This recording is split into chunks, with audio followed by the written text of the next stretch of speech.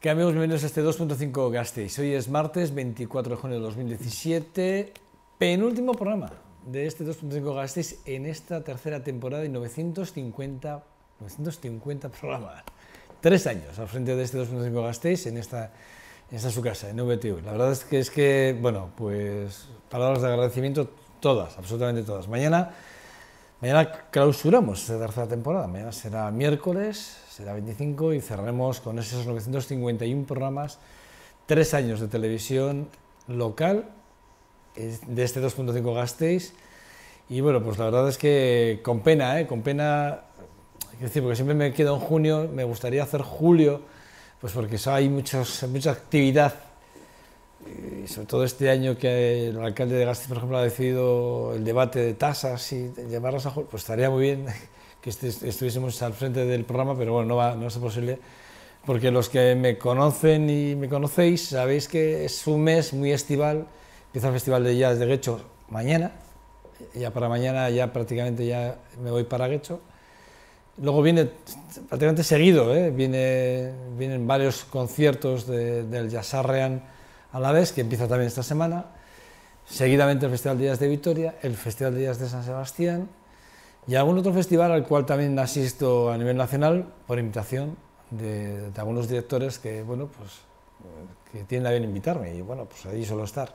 Entonces es un mes estival para mí, es el mes de, del jazz entero y bueno, pues eh, en algunos casos trabajando para algunos otros medios de comunicación y a su vez pues también disfrutando, no, no voy a engañar, porque al que, les, al que melómano y al que le gusta esto de la música, pues bueno, pues yo en mi caso lo llevo en la sangre, o sea, es algo, algo así, como, como no sé, por mis venas corren garrapateas, eh, corcheas, semicorcheas, fusas, etcétera, ¿no?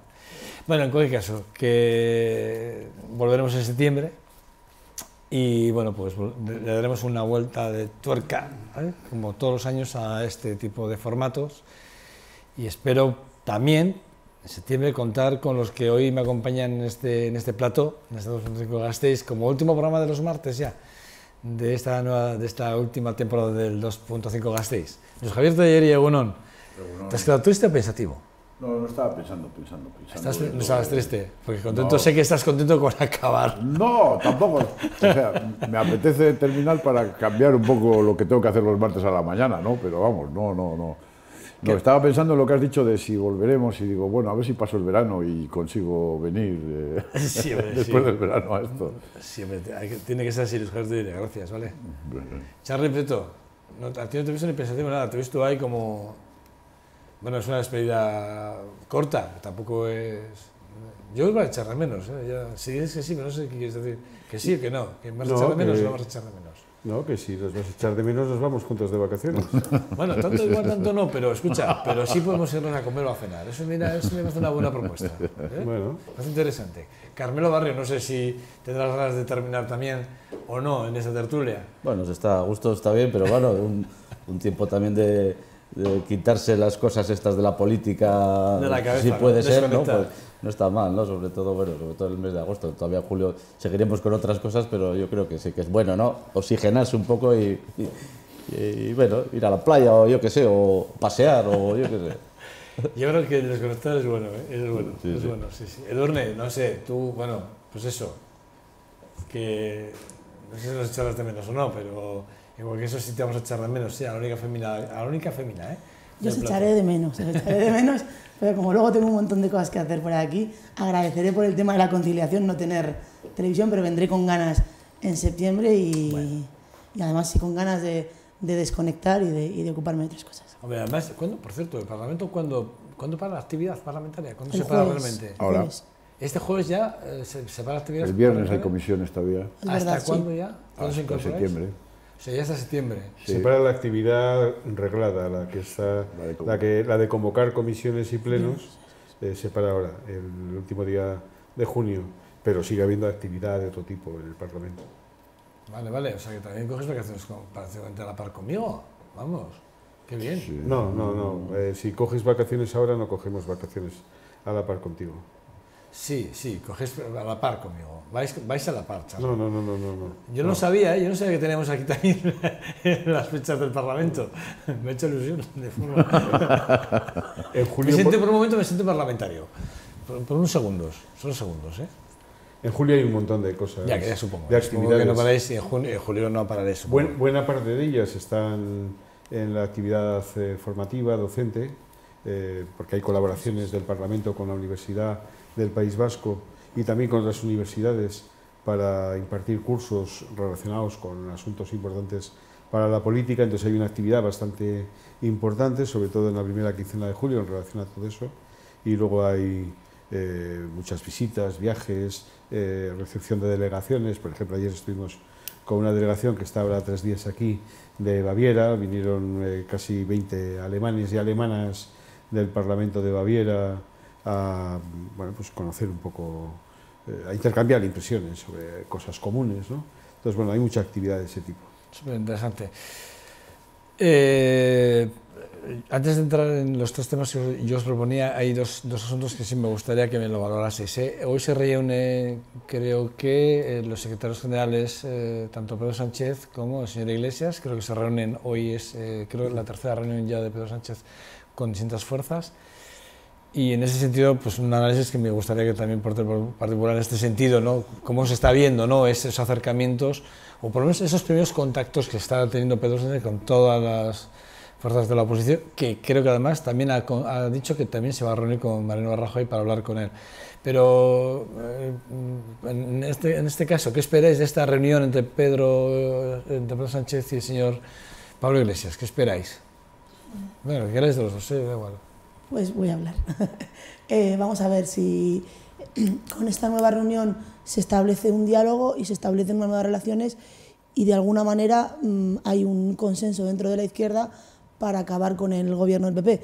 Yo creo que es una toma de contacto. Vamos a esperar eh, qué es lo que propone Pedro Sánchez, que ahora no está en el Congreso, pues de alguna forma eh, bueno, pues tiene que tener presencia mediática. Nosotras eh, bueno, estamos abiertas a escuchar y tenemos muy claro eh, cuáles son nuestras hojas de ruta y creemos que, que ahora mismo hay una oportunidad eh, muy grande por parte del Partido Socialista de, de emprender un camino, un camino juntas. ¿Ha cambiado algo del Pedro Sánchez anterior al, al actual? Bueno, yo creo que dentro de- del propio PSOE eh, ha habido bueno, pues un, un cambio, una, una pequeña eh, revolución y una serie de, de directrices que ha marcado la propia militancia que han, han supuesto, así a bote pronto, un- una especie de, de viraje dentro de sus posicionamientos políticos. Vamos a ver si esa, digamos, ese viraje de- o, esa- ese cambio de fachada tiene realmente algún tipo de, de enjundia en la línea política a seguir.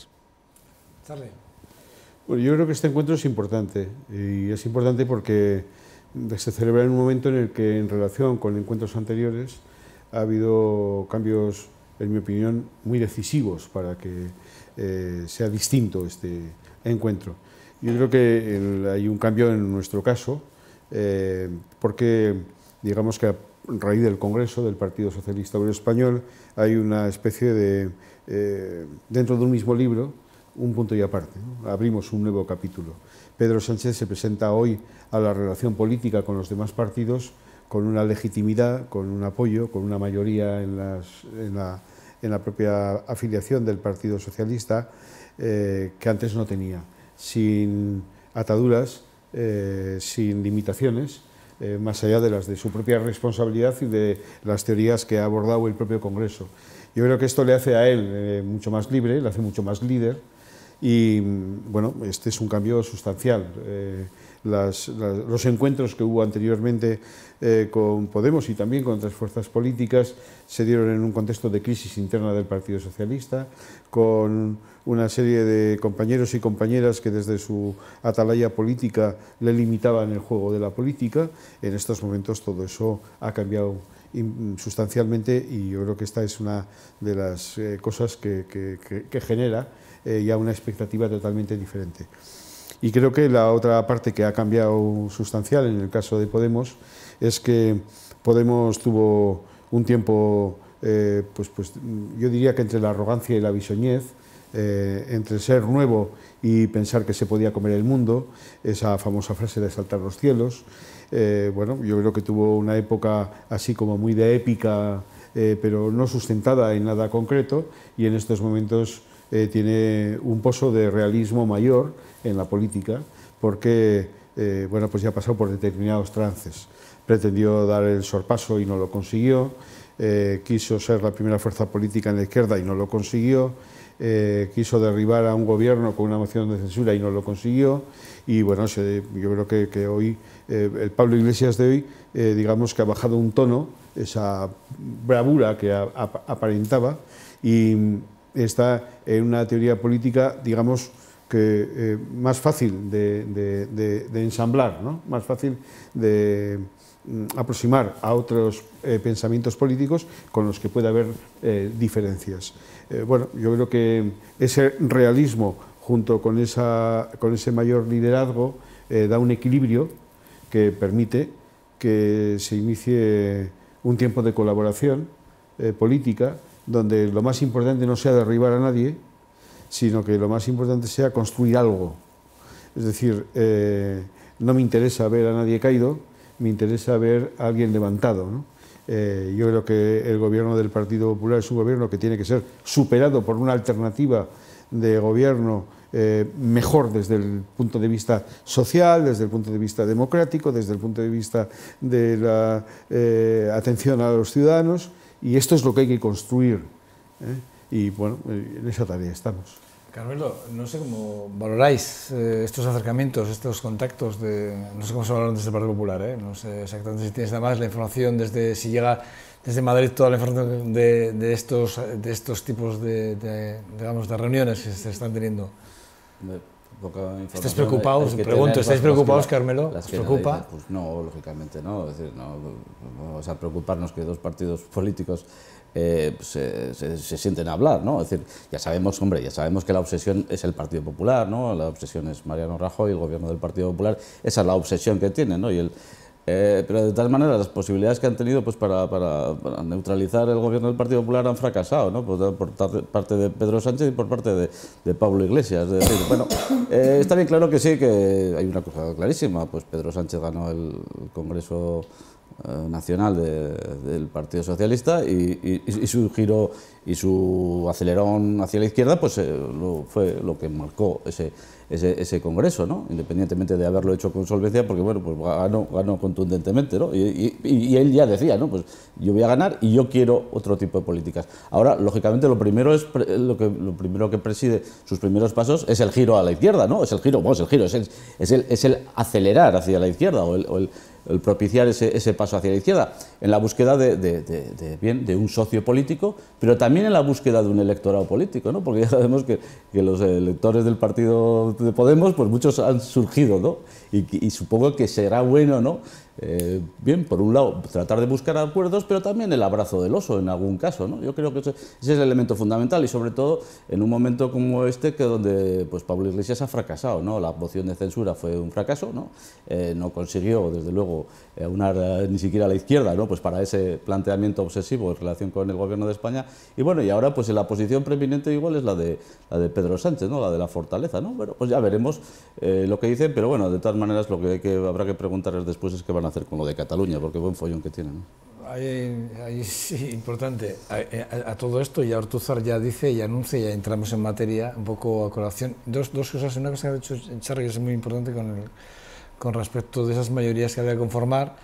Esas mayorías conformarían, esas, digamos, esas mayorías a conformar pasarían por los votos del Partido Nacionalista Vasco, que, que, que en, este, en este momento los acuerdos con el Partido Popular son buenos, a nivel además transversalmente en España y en Euskadi, y ya hemos visto las declaraciones de Antonio Ortúzar en ese sentido, en el que, bueno, por supuesto, 2018 ya empezamos a hablar de ellos, Ortúzar ya pone encima de la mesa transferencias e incluso habla ya de la caja única como, bueno, una transferencia difícil, eh, no, nada fácil, pero bueno, una de ellas, una de las tantas que falta por, por eh, transferir, y que están encima de la mesa, evidentemente, y que pueden ser la clave para los posibles acuerdos, o bien sea con el Partido Nacionalista Vasco, o sea, perdón, con el Partido Popular, o bien sea con el Partido Socialista, Podemos y otras conformaciones de, fuerzas.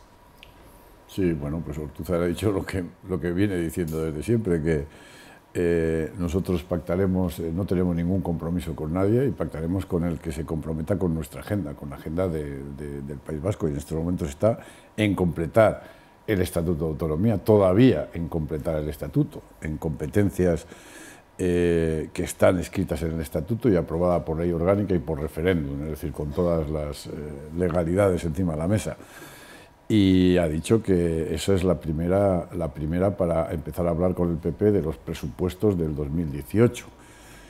Pedro Sánchez ya ha anunciado que, en, su lógica cita de, conversaciones que va a empezar hoy con, con, Pablo Iglesias y va a seguir con Ciudadanos, también iba a venir aquí. Por cierto, se equivocó, dijo que iba a venir a hablar con el Endacari, que va a hablar con el Endacari, pero el Endacari no tiene nada que ver con eso. El Endacari es el Endacari del gobierno y el partido lo preside Antonio Ortuza, no lo preside Íñigo Urcuyo. Pero bueno, va a hablar con los dos y desde luego ahí va a estar la oferta. Si, ustedes quieren que pactemos, pues tendrá que pasar por, por esto, porque nosotros la única manera, es, es triste, pero hay que reconocer, la única manera de que se cumpla una ley es que el partido que manda en Madrid eh, esté en minoría si está en minoría y nos necesita, entonces vamos sacando, no vamos sacando cosas extraordinarias ni nuevas, no, vamos sacando el cumplimiento de la ley orgánica. Pero bueno, esa es, esa es la realidad a día de hoy, ya veremos e, en un futuro. Entonces, el que esté, sea uno u otro, tendrá que pasar por, por este elemento. A mí me parece lógico decir, no, tendría ni, no tendríamos ni que estar hablando de eso, porque formalmente tendría que haber estado cumplido el estatuto. Podemos haber dejado alguna cosa pendiente, porque no nos ponemos de acuerdo en que la letra que escribió el estatuto eh, se concreta de esta manera o de esta otra, pero hay cosas tan obvias que es que no, no tienen una, una, vuelta de hoja. Pero bueno, esa es la condición para pactar algo y por tanto el que quiera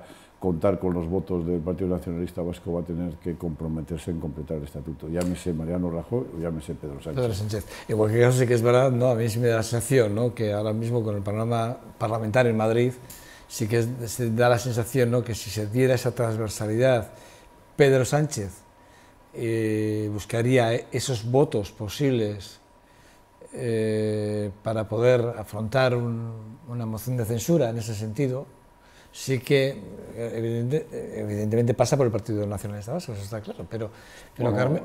Él, quiere con Ciudadanos, ¿eh? por lo que él ha anunciado, y ha dicho que quiere contar con Ciudadanos. Hace falta más movimientos de votos para muchos más, muchos más. con el Partido Nacionalista Vasco. El Partido Nacionalista Vasco da la mayoría. podría ser una abstención, una abstención también en Madrid. Varias abstenciones también en Madrid. sí, pero. Es decir, que por eso, no tiene por qué ser. Por eso, pero hace falta muchos más movimientos de votos. En este caso, eh, eh, podría ser.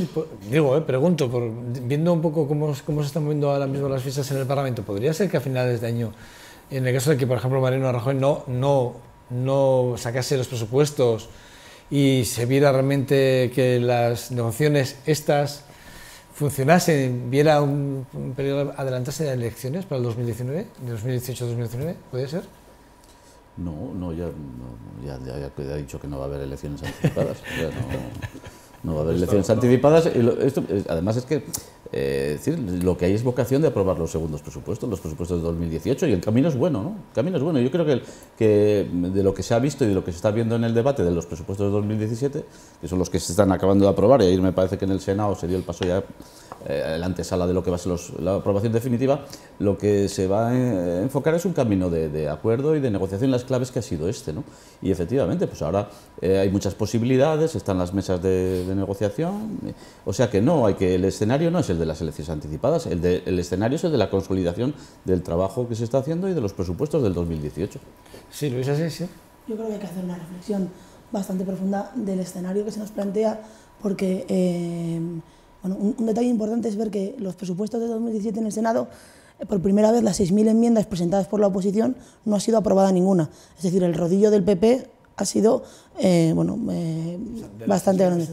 Claro, en el Senado es mayoría absoluta. Bien, entonces, pero era la primera vez que ninguna enmienda de la oposición era, era aprobada.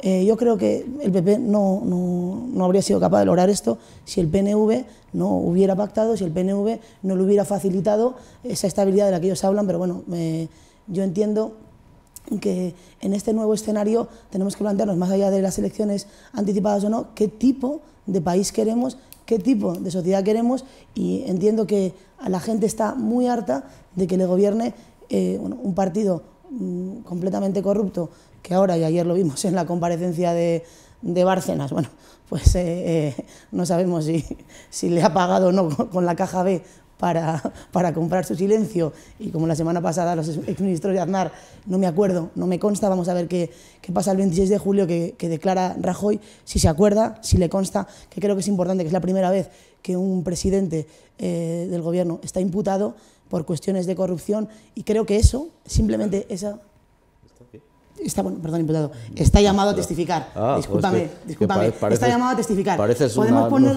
una, nueva forma de jueza o no, de, no, no soy ninguna o, forma de jueza. O de inquisidora. No, no, no, no, para nada, para nada. Pero es que robar, manipular y engañar creo que a la gente no le gusta. No es una cuestión que, que yo diga. Pero tú hablas de la gente de siempre, tú hablas de la gente. Que no, que yo no, yo no soy portavoz de nadie, más que de mí misma. Pero hay que tener muy claro que la gente que nos gobierna no puede apropiarse de dinero público y no puede andar manipulando los poderes, el poder judicial a su antojo y para para blindar sus privilegios. Eso, eso es una cuestión de sentido común. De sentido común. No es una cuestión de que yo me apropie o quiera impartir pues sí, justicia tú, con, tú con... hablas de la gente y tú te no, no, apropias. No, he hablado de la gente. Tú siempre, siempre. He hablado, el 26 de julio, Mariano Rajoy. Le, le, he, le he llamado yo a testificar. Pero bueno, la si, llamado has, si has dicho tú que estaba imputado. No, no, luego he ya, dicho ya, que me he ya te- equivocado. Bueno, bueno, puedes cogerla, puedes, puedes coger mi error todo el rato y repetirlo mil veces, que por eso no, va- no va a ser un error. Entonces, o sea, no ¿qué- va a dejar de ser un error. gente? ¿Cómo que piensa la gente? Quiero decir que a ti te parece normal que un presidente esté eh, Que vaya a testificar. Pues normal, pues claro, pues es normal. Pues, ¿Por un ciudadano todos los, todos los pueden ir a testificar. Eh, testificar los- no los- es todos más los que, exministros más que, de Aznar, bueno, más que piden las partes que, que vaya alguien a testificar, los jueces acceden a esa testificación. parece muy cínica. eh, perdón, en cualquier caso, me parece muy cínica esta postura, pero es tu postura. No, cínica no, hombre, respeto, pues es- hombre, es cínico objetiva. decir Una cosa, que una nos cosa es verdad, ¿no? Edurne, no está imputado No, no, he dicho, que, he dicho que me he equivocado, lo repito. no está imputado, va a testificar, está llamado a testificar. Si eso aún así no nos parece grave, Testigo, como testigo de. no, pues no nos parece grave. No, no nos parece en es. absoluto grave. las, las opiniones están para que yo las pueda expresar, vosotros expreséis las vuestras y me respetéis. Estupendo. Y yo os respeto a vosotros. Yo creo que eh, es básico en un debate que cada uno pueda esgrimir los argumentos que le dé la gana. Entiendo yo.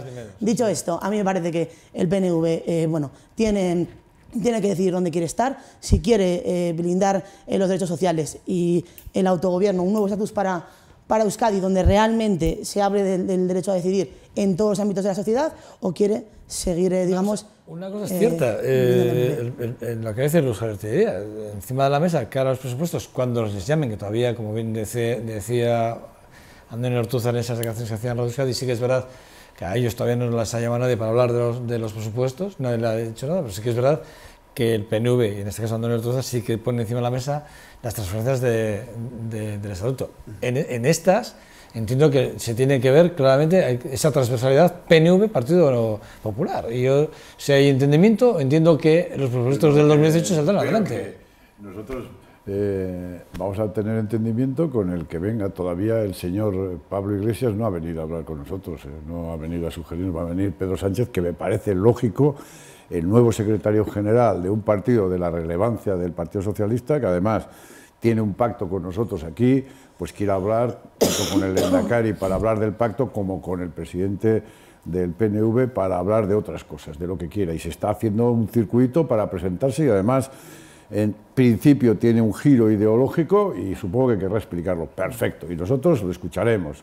Y nosotros ni blindaremos a uno ni blindaremos a otro. Nosotros lo que haremos será estar con unos y con otros y los que nos garanticen eh, la agenda vasca y básicamente conseguir toda la transferencia, porque todavía no he visto a Podemos defender en Madrid que se hagan las transferencias aquí. Cuando lo haga en Madrid, a lo mejor empezamos a pensar que también están de acuerdo, pero no están hablando de, de esas transferencias, ni, ni nadie más. Entonces, nosotros somos los que estamos hablando de que se transfiera un estatuto de autonomía aprobado hace más de 30 años, y a partir de ahí, nosotros ni blindamos a unos ni a otros. Tenemos nuestra agenda y el que nos ofrezca la agenda, si con él eh, vamos a conseguir la mayoría, lo haremos. De momento de es el. PP el que este año nos ofreció eh, una serie de cosas, nosotros consideramos oportuno y hemos aprobado los presupuestos. Se acabó. Opinar muy a menudo es arriesgado. Y este es uno de los problemas a los que estamos sometidos en este modelo de sociedad que vivimos, ¿no? en el que sin que se haya resuelto un asunto y hay que opinar sobre el asunto siguiente. Y yo creo que a esto hay que darle un poquito más de moderación y de tranquilidad por lo siguiente. Eh, los presupuestos generales del Estado se acaban de aprobar, se ponen en marcha ahora, eh, por cómo ha ido la legislatura y por lo tanto están sin ejecutar. Es cierto que esos presupuestos se han sacado con el apoyo de Ciudadanos, con el apoyo del Partido Nacionalista Vasco y de Coalición Canaria, y que ha habido dos partidos que han sido notorios en este proceso por eh, haber obtenido eh, recursos añadidos a lo que pudiera ser la política del Gobierno de España, que ha sido el Partido Nacionalista Vasco y Coalición Canaria. Ambos tienen que eh, ejecutarse, ambos acuerdos, ambos acuerdos presupuestarios. Y el Partido Popular de esto sabe y tiene oficio, igual que el Partido Nacionalista Vasco, igual que lo tenemos todos los que tenemos ya alguna experiencia en la política. Y desde luego los presupuestos generales del Estado del 2018 se van a empezar a negociar sin haber ejecutado los del 2017. Y aquí todo el mundo tiene algo de donde agarrar. Y aquí todo el mundo tiene algo... Es decir, es decir, que la, parte, la parte retórica de la política siempre va a una velocidad tremenda porque todos los días hay que decir cosas, pero luego la parte pragmática de la política tiene otros recorridos. Y el Partido Nacionalista Vasco, igual que Coalición Canaria, me imagino que querrá que el Partido Popular el Gobierno de España eh, ejecute el acuerdo presupuestario. Acuerdo presupuestario que en algunas de las partidas es plurianual, que ni tan siquiera se, puede ejecutar solamente en el 2017, sino que tendría que ir a años sucesivos y que un adelanto electoral eh, arriesgaría eh, esa, ejecución. ¿no?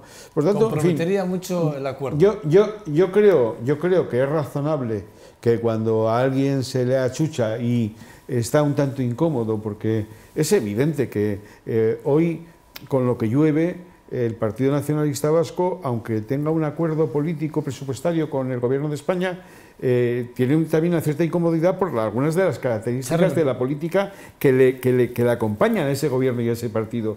Eh, entonces, es, lógico que cuando le pregunten quiera poner un listón alto y diga, bueno, pues ahora esto y lo otro y lo demás allá y la agenda y tal. Bien, eso está bien.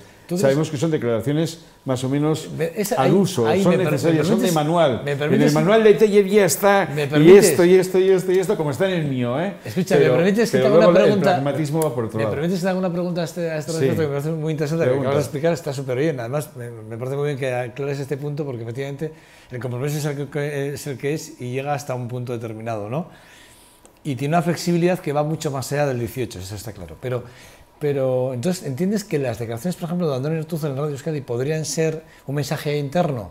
No, de consumo interno. No, no, no. No, entre otras cosas porque hay un compromiso político suscrito entre el Partido Nacionalista Vasco y el Partido Socialista en el que uno de los ejes de la acción política y además inmediata es el completar eh, las transferencias. Y entre ellas hay dos, que ya las ha citado Luis Javier Tellería, que es la gestión del régimen económico de la seguridad social y la política penitenciaria, que, eh, digamos, todos, también nosotros, todos estamos eh, absolutamente involucrados y, animados a, resolverla, a conseguirla. Y se están haciendo trabajos por todos los lados, incluso sin necesidad a veces de que tengan publicidad. Ahora eh, han eh, recuperado una cierta publicidad, entre otras cosas porque se le ha preguntado a Ortúzar por los presupuestos del, del 2018 y, y, Ortúzar razonablemente ha puesto una pantalla en medio, ha puesto un muro y ha dicho, bueno, en el 2018 muy exigentes porque es que, claro,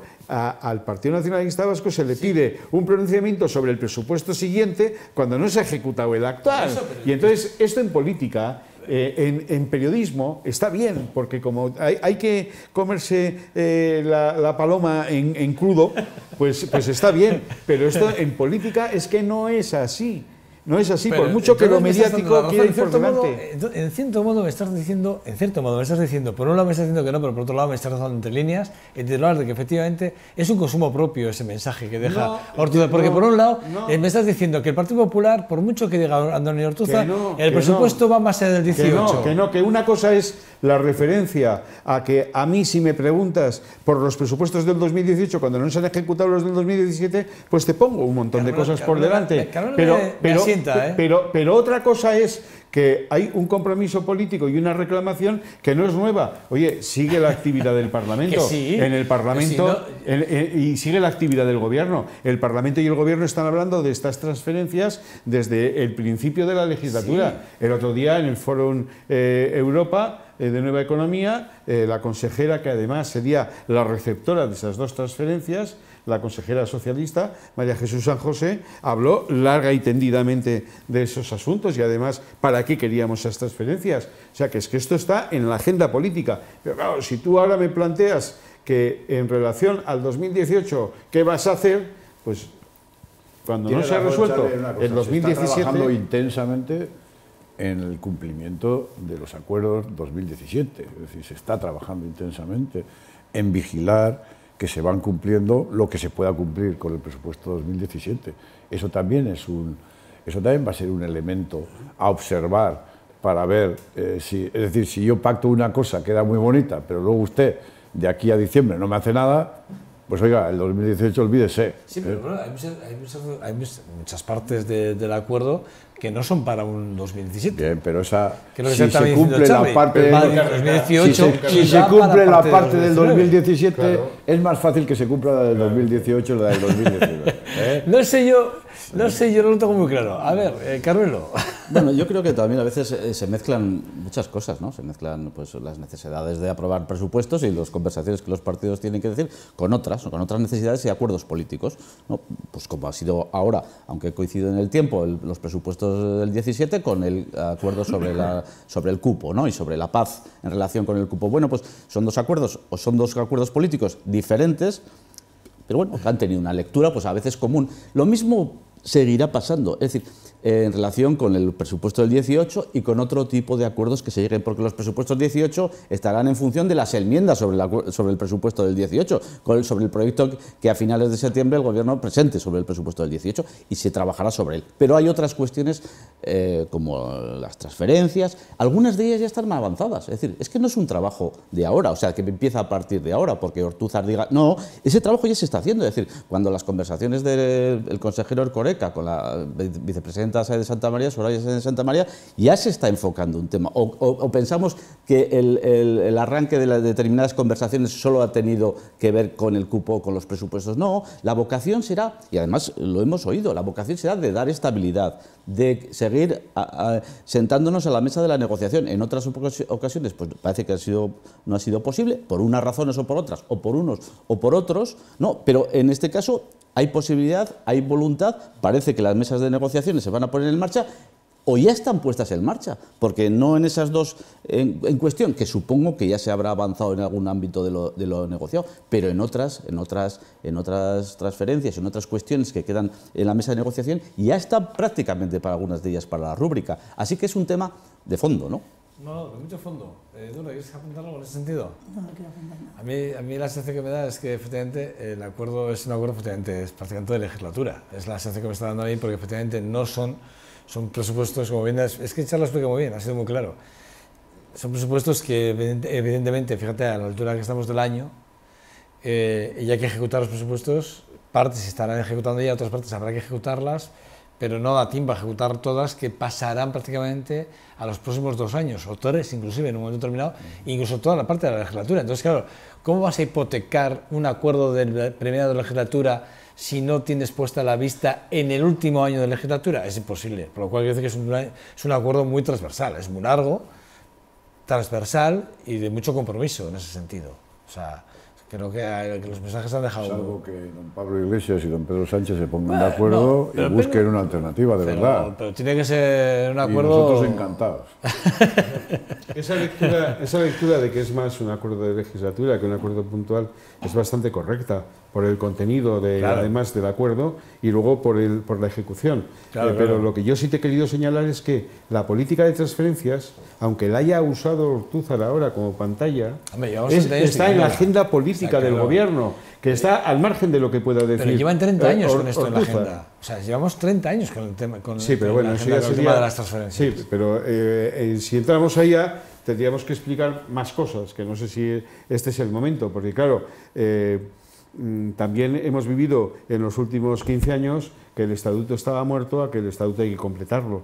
También hemos vivido que la gestión de la seguridad social tenía que ser toda, eh, con todas las competencias, a eh, pedir la transferencia del régimen económico, sin romper la caja única. Entonces, claro, todo esto tiene mucho historial y por eso también a veces cuando se negocian unas transferencias, el problema no es solamente el que tiene que transferir, es el que las tiene que recepcionar. Si el que quiere recepcionar dice que no, si no es estas condiciones que traspasan lo que está establecido en el propio Estatuto de Autonomía, pues ahí se produce el bloqueo. Y esta es una materia que se ha negociado en infinidad de ocasiones con distintos gobiernos y que siempre se ha bloqueado porque había una petición superior a lo que recoge el propio Estatuto de Autonomía. Entonces, bueno, en fin, todo esto tiene mucha complejidad y mucha historia. ¿Quieres decir algo, Javier? algo? Que esa puede tener complejidad, pero los seguros agrarios no tienen ninguna complejidad y siguen sin transferirse. Pero bueno, pero... Los seguros agrarios, por ejemplo, que por es, ejemplo, es ¿eh? Poco... No, no, pero fíjate, es una, es una Cuando es hay una acuerdos, hay acuerdos por, por, unanimidad del Parlamento Vasco de la lista, no me acuerdo de cuarenta y pico transferencias, la lista hecha por acuerdos de unanimidad de, sí. del Parlamento Vasco. ¿eh? O sea, de hace 15 o más años. No, del año, del año 95. Pues si fíjate, no si ha llovido. Me equivoco. ¿eh? Un acuerdo por unanimidad con la lista de, las, de todas las... Y además gobernando tanto Partido Popular como Partido Socialista en el gobierno central. Es decir, que esto no es... Sí, sí, sí, con todos los gobiernos. Y el acuerdo por unanimidad del Parlamento, con todas las fuerzas políticas. Ni más ni menos. Oye, el Arártico este lunes hacía, alertaba, ¿no? De alguna forma, con el tema de la región de las garantías, que volvemos a ella otra vez, y con el PAVA, bueno, con, el, con, con son las ayudas a la vivienda, ¿no? A, a, alertaba de que había un porcentaje muy importante de gente que estaba quedando fuera de la renta de garantías y que además para él era, estaba suponiendo ya un esfuerzo importante a la oficina, en tanto en cuanto es casi el 60% de las reclamaciones que estaban llegando vienen en esta vía, ¿no?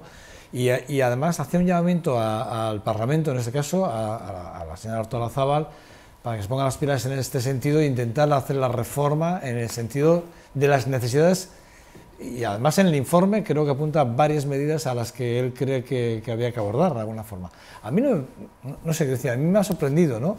Porque sí que es verdad que también hemos, hemos oído aquí al síndico de Vitoria-Gasteiz ¿no? hablar de lo mismo, ¿no? De que, que ellos estaban viendo cómo gente que no podía acceder a la renta de garantía llegaba a su oficina pidiendo un poco de amparo de alguna forma, ¿no? No sé cómo se ha acogido estas declaraciones del artículo. ¿Las esperabais? ¿Creíais que estamos en esta situación de desamparo por parte realmente de ese porcentaje tan elevado de la ciudadanía vasca? Pregunto, ¿eh? Yo creo que el Ararteco no hace más que refutar lo que ya diversos colectivos han estado denunciando estas últimas semanas, que tiene que ver con que casi 60.000 personas, creo que son 59.543, sí. digamos, no tienen ningún tipo de acceso a las prestaciones sociales y se quedan en un estado de, de, pobreza de la que es imposible salir. Eh, esto pasa siempre por la reforma de, de, la renta de garantía de ingresos, por eh, hacer mucho más accesible y por eh, ampliar los requisitos para acceder a las prestaciones. Nosotras hemos defendido multitud de iniciativas en este sentido en el Parlamento y lo vamos a seguir haciendo y además en otras instituciones. Esto nos lleva muchas veces a que se, como pasa en el Ayuntamiento de Vitoria, a que se tire del IAE, de, la, de las ayudas de emergencia social, para paliar estas situaciones de, de, de, pobreza por una mala gestión de, la RGI y creo que el número es importante, 60.000 personas que están en situación de pobreza y que no tienen ningún tipo de, prestación y además que no, no hay una, una, posibilidad, no cumplen eh, requisitos. No es una cuestión del Arteco, a mí no me sorprende porque ya hay diferentes colectivos que han estado denunciando los criterios eh, bueno, pues para, para, la petición de, de las, eh, prestaciones y creo que es importante reformar la RGI y creo que es fundamental eh, eh, profundizar en esto y que, to y que todas lleguemos a un consenso, porque no, no podemos dejar a 60.000 personas completamente desamparadas. Los 15 puntos que presentó eh, Beatriz Los criterios, sí. van en este sentido. Vamos a, vamos a aclarar una cosa, o es un problema de gestión del ambiente o es un problema de requisitos. Esto, en el fondo, eh, la RGI es una ayuda pública, digamos, una, como una subvención a una empresa, a una asociación, y todo eso todas las, todas las ayudas públicas, todo lo que es dinero público en formato de ayudas, y esta es la más grande que tiene la Comunidad Autónoma Vasca en cuanto a eh, gente que recibe esa ayuda, la más grande, la más difícil de gestionar, por tanto, se le ponen unos requisitos. Siempre, en cualquier subvención, en cualquier ayuda, la Administración tiene que poner, tiene que aclarar cuáles son los conceptos para que se reciba, porque todo esto está fiscalizado para que se haga jurídicamente, legalmente, de una manera correcta. Entonces, o la norma deja fuera gente porque es, no sé, estricta en determinado sentido, o bien se gestiona mal y el que tiene derecho la envidia no es capaz de hacerlo. las dos no, son. Entonces, eh, si es estricta, hablemos, eh, pero yo no creo que gente que cumpla las normas eh, se quede fuera. Si cumple las normas va a recibir. ¿vale? otra cosa es que el Adarteco ha hecho un análisis en función de las solicitudes de, de demanda que le han llegado y ha hecho un análisis, digamos, una estadística muy por encima de lo que le ha llegado y ha resuelto. Pues a partir de ahí habrá que revisar si las normas son estrictas o si se gestiona mal y gente que tiene derecho a la ayuda no la está recibiendo. Que yo creo que ahí la ANVIDE se está aplicando mucho y dentro de las 15 normas van a aclarar bastante los conceptos porque aquí hay, digamos, una nube de gente muy compleja que habrá que analizar y habrá que tomar una decisión. en el fondo, la RGI toma una decisión. ¿Cuál es la situación de pobreza? percibir menos de tanto al año, tanto por persona, vivir en no sé qué condiciones y a partir de ahí toma una decisión. De ahí para abajo todo el mundo tiene derecho a cobrar, de ahí para arriba no. Y alguien puede decir, es que de ahí para arriba hay gente que entendemos nosotros que también está en situación de pobreza. Esa, es una decisión que habrá que tomar. Como lo, lo es exactamente igual que en estos momentos llega alguien de fuera aquí y el primer día no puede cobrar la RG. Está en situación de pobreza. Para eso también hay otras ayudas que dan los ayuntamientos, las ayudas de emergencia social, etcétera, que pueden, que pueden cubrir momentáneamente eso. Pero eh, en buena lógica, una persona que recién llega hoy, mañana no va a recibir la RGI porque la norma no lo, no lo permite, la norma jurídica que nos hemos establecido. Podemos debatir si eso está bien o está mal yo en principio entiendo que está bien porque ese que viene a lo mejor se va a pasar mañana y, además hemos creado toda una cobertura para darle una salida desde ayudas municipales, etcétera, etcétera. Si luego se estabiliza aquí, podrá entrar en el sistema RGI en el momento en que se haya empadronado, que lleve dos años, etcétera, etcétera. Ese, es, el sistema que nos hemos dotado.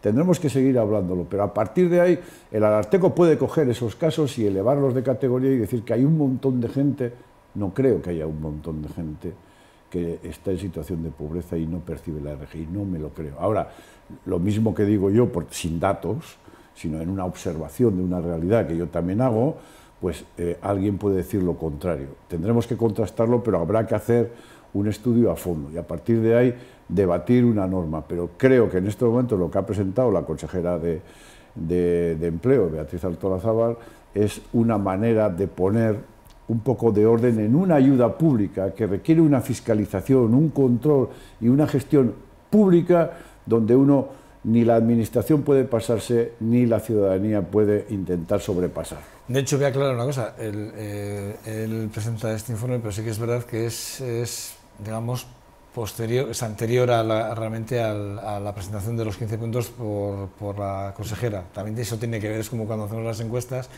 que van posteriores o anteriores a un hecho concreto. Aquí pasa un poco parecido. ¿eh? Charlie. Sí, eh, el Arteco dice varias cosas. Eh, básicamente dice tres. La primera, que se ha mejorado mucho en gestión, en eh, documentación, información.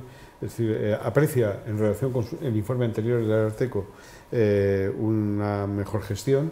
En segundo lugar, plantea que hay algunas RGIs que están siendo denegadas o que están siendo eh, suspendidas por una interpretación que no es acorde a la ley, pero eh, se refiere a algún caso puntual que puede haberlo, porque bueno, todo lo que se interpreta por las personas puede en un momento determinado interpretarse exageradamente o equivocadamente.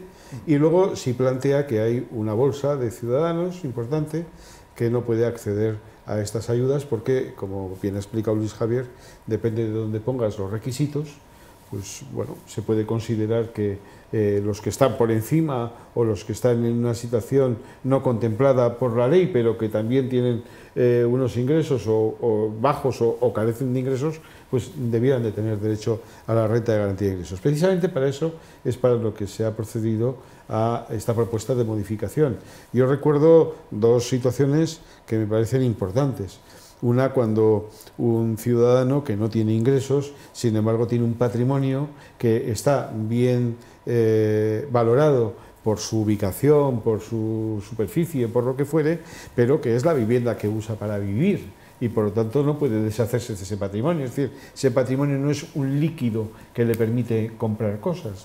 Entonces, ese es un asunto que está encima de la mesa y que se quiere abordar. De la misma forma que las unidades familiares, las unidades de convivencia, también generan algunos problemas pues, en determinadas situaciones, en situaciones de separación, en situaciones de tener que ir con los padres, hay, desajustes porque de repente pasa una unidad en la que sumadas los ingresos de todos, pues te dejan a ti fuera aunque tú no los tengas.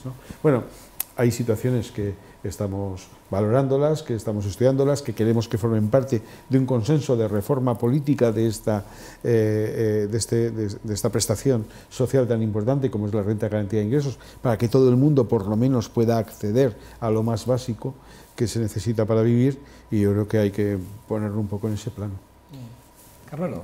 Sí, bueno, eh, lógicamente el Arteco hace su trabajo, ¿no? El Arteco pues recibe lo que son las reclamaciones o las quejas o los problemas que tienen los ciudadanos en su despacho en sus relaciones con la administración. ¿no? Ese es el trabajo del Ararteco y bueno, pues puede eh, desde luego pues encontrarse con esos casos. ¿no? Pero al final, eh, claro, el Ararteco a quien apela es a la administración. ¿no? Aquí hay algo, o aquí yo percibo algo que no funciona bien. ¿no? En, su caso es porque, porque ve que un tanto por ciento de excluidos, de, de personas en riesgo de exclusión no perciben prestaciones y lo pone de manifiesto. Bien, eh, está claro que, eh, y hay que compartir lo que han dicho Luis y Charlie, ¿no? es una cuestión también de regulación, es una cuestión de requisitos, es una cuestión de acceso, es una cuestión de buena gestión también, ¿no? porque también hemos visto casos de fraudes y, también hemos visto casos de, que, determinados sujetos han cobrado dos o tres veces o, diez veces determinadas prestaciones a las que no tenían derecho más que por una cuestión singular. ¿no? O sea que en ese sentido yo creo que este es el momento ideal. Eh, el momento adecuado, no ideal, desde luego, el momento adecuado para que eh, nos pongamos en el Parlamento a, hacer esa reforma de la RGI, esa reforma en relación con las cuestiones que tienen que ver con, con la buena gestión y la identificación de con los requisitos que procedan, con el análisis de las reformas que haya que hacer, con la estructura de una mejor gestión o de un mejor control, con, eh, con, el, hecho de que no pueda haber fraude, con el hecho de que, de que, las ayudas tienen que ir donde tienen que ir, que ese es el elemento fundamental. ¿no? Eso es un buen momento, pero eso, eso lo, tenemos que ver ya ¿no? en el Parlamento Vasco. O sea, dicho que, que va, a hacer, va, a haber un proceso de análisis de, de, esta situación de la reforma de la RGI diferida en el tiempo, se habla de dos años, ¿por qué no nos ponemos ya? ¿no? ¿Por qué no empezamos ya a trabajar en este, en este asunto? ¿no? O sea, y hay otra cosa que decir, que este informe lo que sí va a hacer es ayudar de alguna forma a poner algo más de, información encima de la mesa junto con las, 15 medidas. ¿no? Está hay, claro, que, hay que considerar una cosa. ¿eh? El Ararteco, como, como ha dicho Carmelo, es eh, el quien recepciona eh, de la ciudadanía protestas, quejas por su relación con la administración.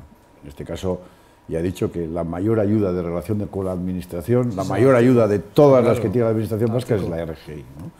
Por tanto, lo que recibe el Ararteco son quejas. El que está contento con la RGI que recibe y cómo lo recibe no va al Ararteco, ni va a ningún sitio. ¿eh? Por tanto, hay, de alguna manera, el Ararteco transmite eso. ¿Qué es lo que transmite? Quejas, no nos transmite satisfacción, lógicamente. Otra cosa es la dimensión que pueda coger eso.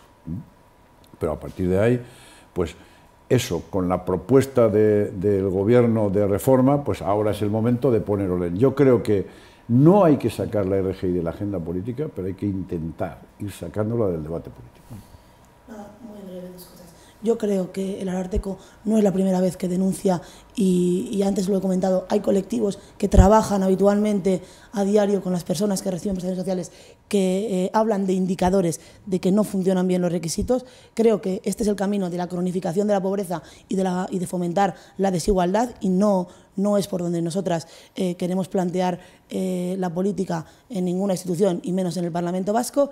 Y entiendo que, bueno, básicamente hay entre los criterios y requisitos que se hablan, yo no sé si de verdad estamos hablando aquí, creo que a veces de una manera muy fácil, pero ¿de verdad creemos que la vida digna se puede mantener con 650 euros al mes? A mí me parece que, de verdad, si, si no nos plan, o sea, cuestiones concretas como esas, si con 650 euros creemos que puede vivir alguien, yo creo que es muy complicado. Eh, 140 caracteres, ¿eh? no os dejo más. Pero el tercer tema que me parece importante, el tema de la conciliación que tanta guerra le da aquí a Durne. Tampoco espacio, no, tampoco espacio. ¿eh? Pero 140 caracteres, vale, ya, ya, ya lo siento porque no tenemos más tiempo, pero sí que es verdad, ¿no? Que uno de cada cuatro hombres ocupados eh, creen que es muy perjudicial, ¿no? Para ellos y sobre todo para su carrera profesional el, el cogerse ese permiso de paternidad. La verdad es que eh, cuando yo leí ayer los números, y, y eh, podéis leer el artículo exactamente igual que yo, llama mucho la atención ¿no? la satisfacción por parte de las mujeres, evidentemente, en este sentido, ¿no? y la preocupación de los hombres que ven que efectivamente... Pero ese miedo que, perciben los hombres, entiendo que ya no es una, una, cuestión suya personal, sino de la situación laboral en la que están inmersos, profesionalmente hablando. Es decir, que las empresas no piensan en la, legisla, en la legislación aplicada, aplicar de alguna forma. No sé si lo vemos así o no, pero a mí es la sensación que me da. Es decir, que por un lado está muy bien la ley, está muy bien que, que los hombres podamos coger, coger parte de, de, del permiso, pero las empresas no lo ven con muy buenos ojos y el miedo lo tienen los hombres que tienen que coger o pedir ese permiso de, de paternidad o de maternidad en este caso. Mira, para mí es muy rápido. El machismo explícito en nuestra sociedad, en la sociedad occidental y en la sociedad mundial, eh, poco a poco, muy despaciosamente, lo estamos eh, solventando, el explícito. El implícito va a costar generaciones. Un buen titular. Charlie. La encuesta lo que pone de relieve es la desigualdad en la que siempre han estado, aunque se hayan negado, aunque se haya negado que existía, eh, las, mujeres.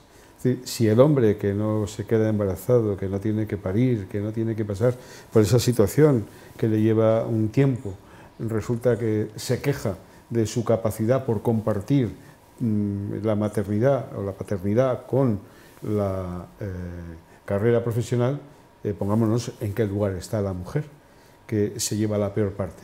Durante muchos años se ha negado que la mujer estuviera discriminada por eso y ahora resulta que el hombre eh, manifiesta en esa encuesta que se puede sentir desplazado.